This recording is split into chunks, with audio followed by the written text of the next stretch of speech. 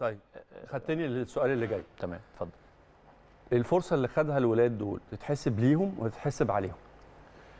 يعني يعني هل هم خدوا إحنا طبعا بنقول انت خدت فرصة سواء اللعيبة اللي جاية من من بعيد كانت ما بتشاركش كتير أو كان في يعني وجهة نظر فنية في إن هم ما ياخدوش فرصة أو كان في إصابات أو الشباب اللي قال لك لا هنكمل بالشباب طلع الشباب كمل بيهم الموسم. خدوا فرصة كاملة ولا شايف إن الفرصة دي كان ينقصها حاجات تانية؟ عشان التقييم يبقى مظبوط وعادل. آه الفرصة ما اتخذتش كاملة بنفس ال- ال- الشكل اللي ينجح أي حد أو آه. ينجح أي لعيب كويس. تمام. يعني اللعيبة دي لعيبة كويسة وبدل طلعت في الحتة دي أكيد لعيبة كويسة. بس عشان تظهر بالصورة الأفضل بتاعت نادي الأهلي وشخصية نادي الأهلي كان لازم ال ال إحنا عندنا حارس مرمى وعندنا خط دفاع وعندنا خط وسط وعندنا خط هجوم. مم. على الأقل في الملعب في ال11 المفروض يبقى في أربع أعمدة رئيسية من اللعيبة الكبيرة. أنا لعيب صغير لسه طالع ببص على يميني ألاقي لعيب كبير بيكلمني.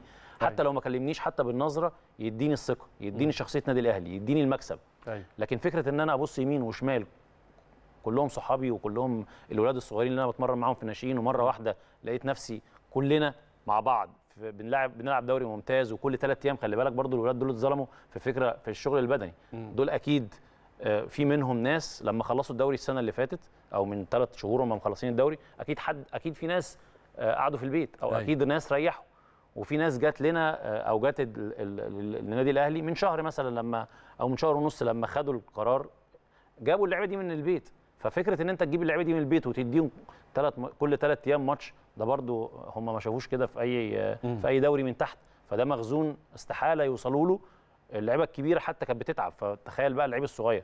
فأنا كان رأيي إن لأ كان لازم من اللعيبة الكبيرة اللي ما خدتش مع موسيماني كانت تفضل موجودة. يعني أنا كنت متوسم خير في الماتشات اللي فاتت دي إن متولي موجود. و- وكان ظاهر بصورة محترمة. بعد. كده شفناه مش موجود. آه صلاح محسن موجود وبعدين مش موجود. حسام. يعني كل الناس اللي كانت بتاخد مع موسيماني أوقات قليلة كانت المفروض تبقى موجود في في موجودة في الوقت ده مع الولاد الصغيرين.